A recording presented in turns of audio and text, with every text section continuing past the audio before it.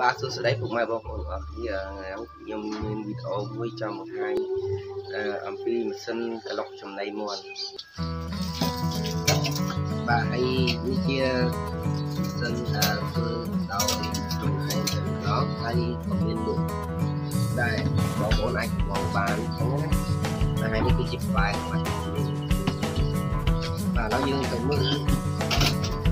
នៅខាងក្នុងរបស់គ្នា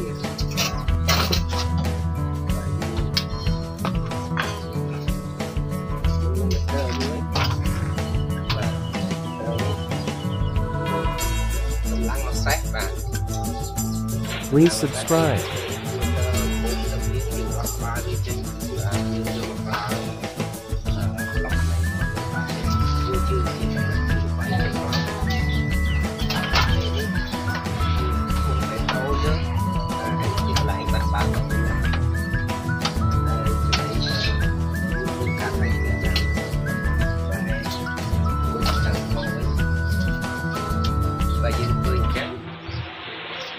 这次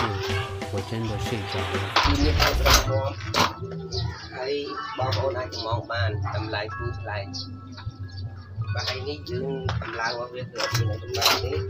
ហើយយើងគ្រាន់តែយើងយកផ្លែរបស់វានេះបាទប្រឡងលេខ17នេះយើងយកទៅមួលជាប់មួ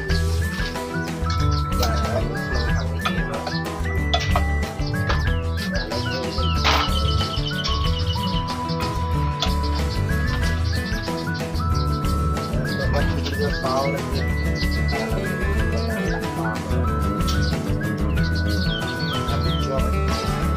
ើងរបៀបតែมันជាជាប់បងទៅបាទនេះនេះងាច់បាត់បាក់ពេញទៅ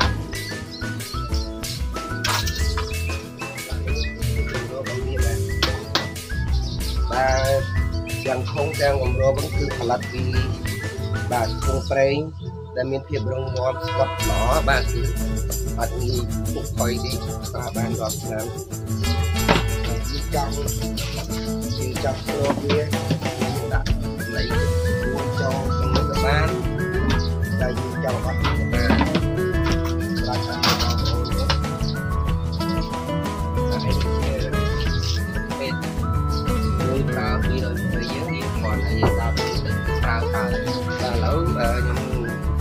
sao ឲ្យមើលពី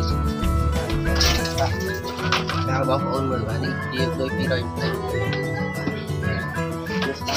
អត់ដឹងទៅលើចឹងប្រើបានហើយអត់មានរបស់ឡើងតែគួនដូចពីពីបីក៏ដោយក៏យើងអាចប្រើបានទាំងអស់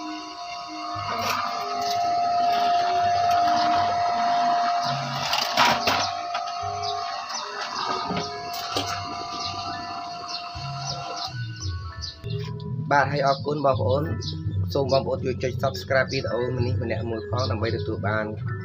ការដំឡើងម៉ាស៊ីនក៏ដូចជាចំណេះដឹងផ្សេងៗទៀតពី Channel របស់ខ្ញុំបាទបាទសូមអរគុណ